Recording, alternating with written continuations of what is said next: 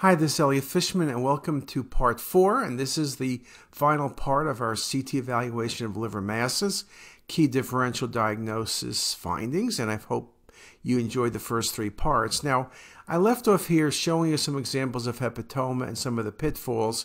And again, this is an example of a patient who has a mass in the liver. There's some neovascularity present. There's stretching of the vessels. Uh, again, looks like a tumor shown better on venous phase imaging, looks like a malignant tumor, looks like hepatoma.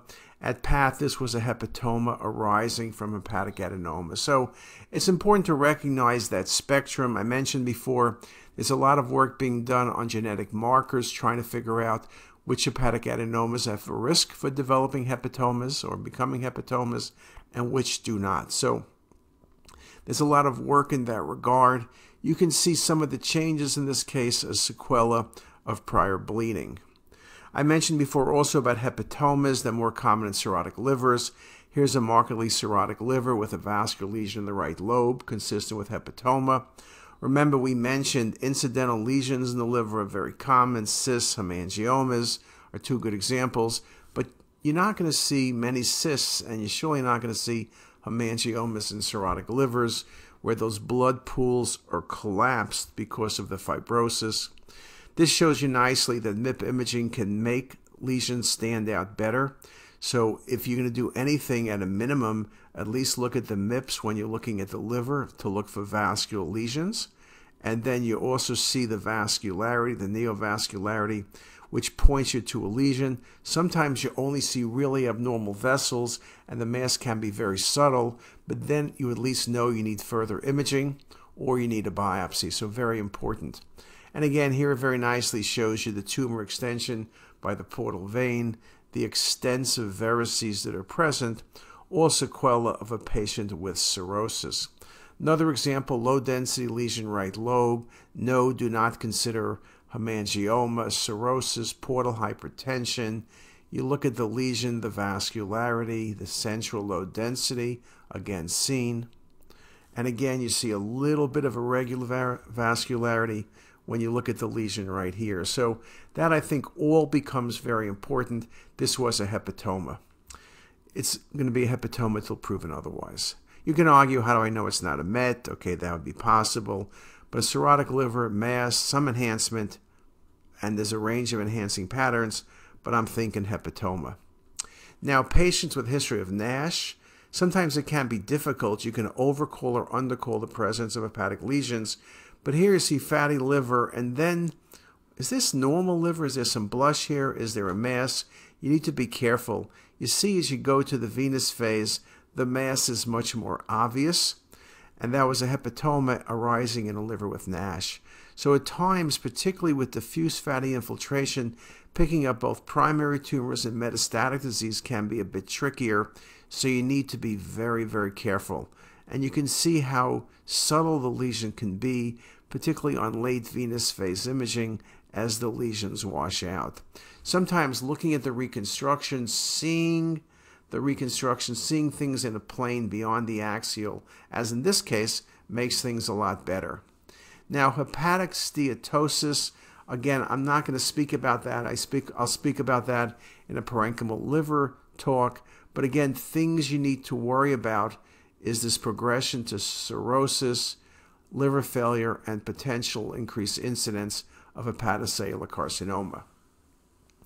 Now, in terms of liver tumors, people usually say malignancy, hepatoma, metastasis. Okay, I mentioned angiosarcoma also, but those are exceedingly rare. But there are some tumors we don't think about, but we see not infrequently. This patient presented with fever, abdominal pain. You see multiple low density lesions in the liver, but you also see multiple masses in the spleen. There's also peripancreatic nodes. One of the things we often don't think about is lymphoma. Lymphoma commonly infiltrates the liver, but beyond the large liver, you often don't see masses. But here you see very nicely the infiltration of the liver. You can see the adenopathy. You can see the spleen. The patient had elevated liver functions. As you go to the narrowing of the window in arterial phase, the lesion showed better in arterial than venous phase. And, but you see it here nicely as well. Now you can say, well, peripheral enhancement, is this some fatty liver? What's going on here? This is infiltration of the liver by tumor, and this was lymphoma. So I think you need to think about lymphoma. When you have a disease that gives you liver and splenic lesions, yes, you could say sarcoid, but then you need chest findings. Yes, you can see metastasis like melanoma, possible. But again, think of primary lymphoma. Typically, B cell lymphoma can involve the liver and spleen with multiple lesions present.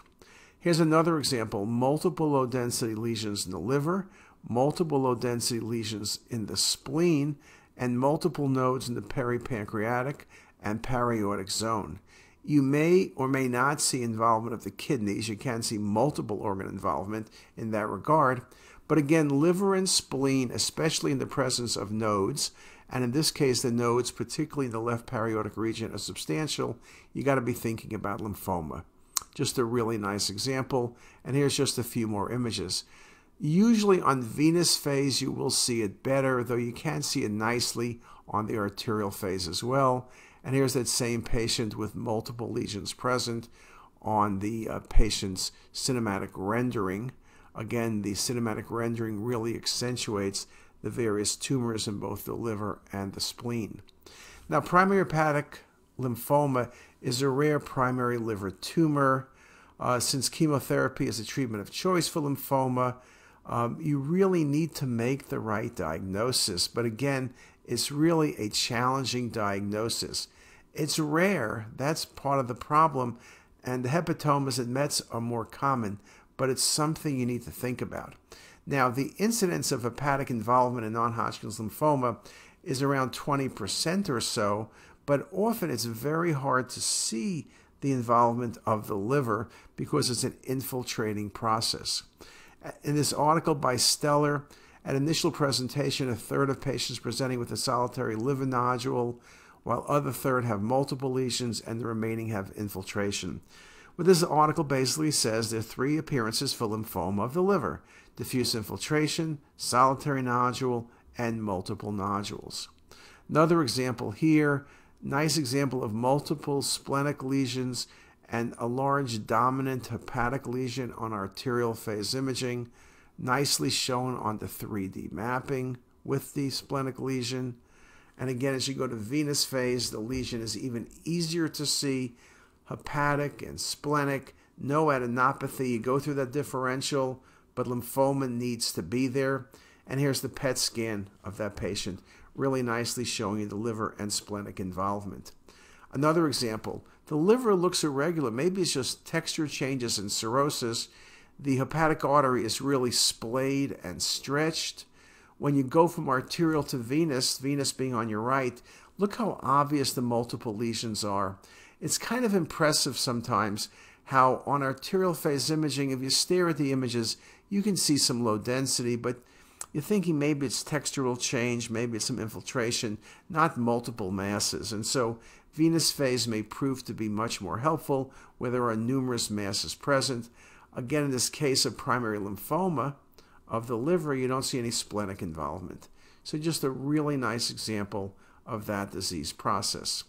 Another case, there's something infiltrating the caudate lobe, this intrahepatic duct dilatation. Perhaps it's a cholangiocarcinoma. That's a good thought. The spleen is big. And now you see this infiltration around the portal vein. There's some duct dilatation.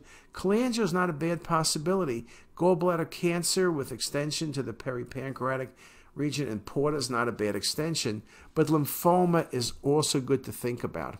You'll notice we like to say lymphoma displaces vessels.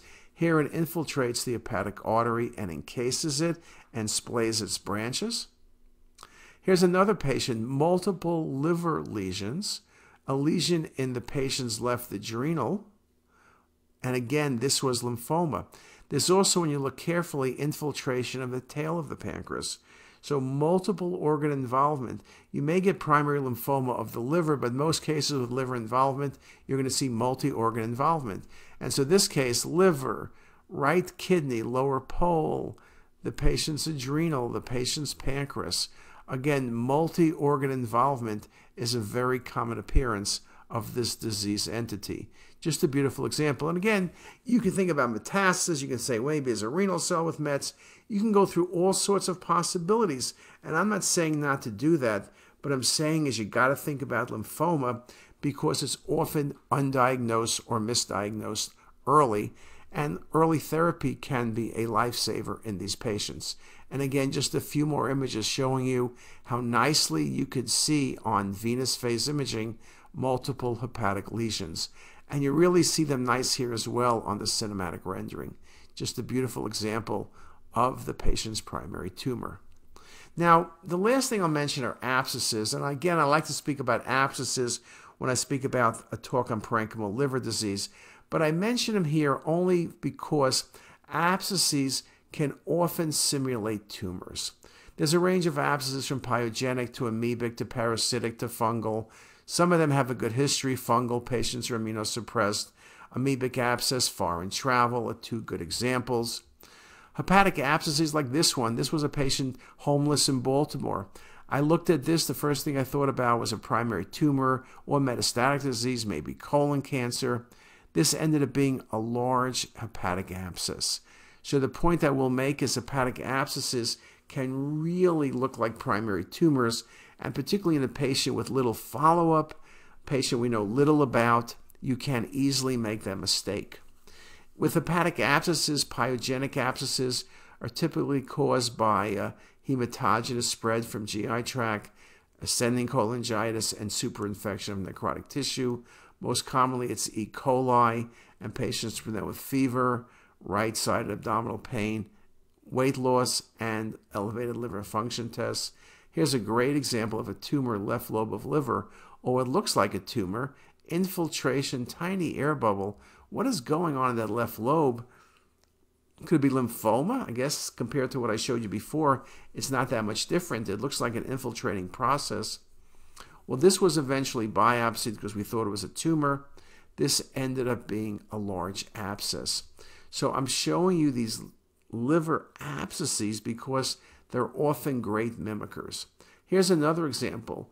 Patient was afebrile, had this mass. You start the million dollar workup. Could it be colon cancer? Could it be, in theory, hepatoma?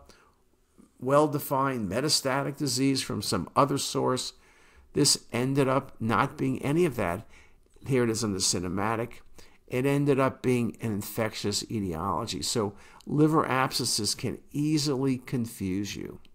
Now, obviously, sometimes you have a better history. Patient with liver transplant who's immunosuppressed, you see a low density lesion, you still want to exclude malignancy because maybe it has, you know, PTLD, where you get tumors in patients post transplant, lymphoproliferative disease, big spleen, stent, and common duct but this was a liver abscess in a transplant patient.